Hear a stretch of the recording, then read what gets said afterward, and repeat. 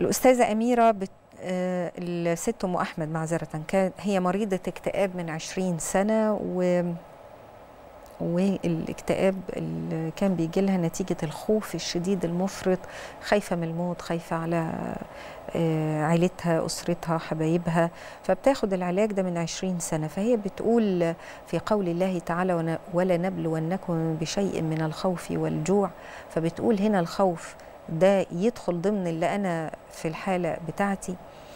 يعني هذا من ضمن الابتلاء بالخوف ده من ضمن الابتلاءات. ونحسب انه الصورة المرضية أو الصورة القصوى من الخوف مما ين... اللي حضرتك فيها مما يندرج في هذه الآية الكريمة. صحيح هنا الخوف ال- المقصود اللي بتعبر عنه الآية كنموذج من نماذج أو وسيلة من وسائل أو نوع من أنواع الابتلاءات اللي بيتعرض لها الإنسان في حياته والخوف المحتمل.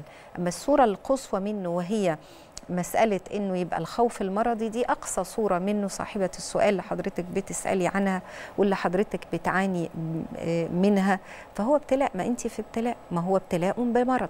المرض اسمه مرض الخوف.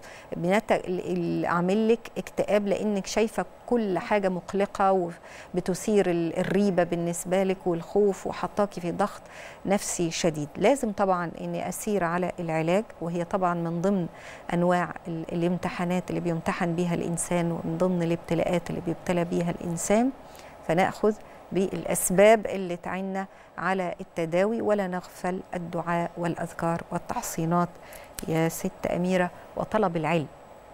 لأن طلب العلم بيحل كتير من الإشكاليات والألغاز والأفكار السلبية الموحشة بالنسبة اللي بتهيئها النفس أو بيهيئها الحالة النفسية اللي بيكون فيها الإنسان فبتثير المخاوف وبتبقى المخاوف دي ضاغطة جدا على الإنسان توصله إلى حد آه، المرض. فتصحيح ده عن طريق مجالس العلم. فإحنا نسمع المجالس اللي هي تزيد القلب طمأنينا واطمئنانا ألا بذكر الله تطمئن القلوب؟ يكون لك ورد يومي من القرآن. خدي قدر كده اقرأي كل يوم من القرآن مع العلاج بتاعك كل ده.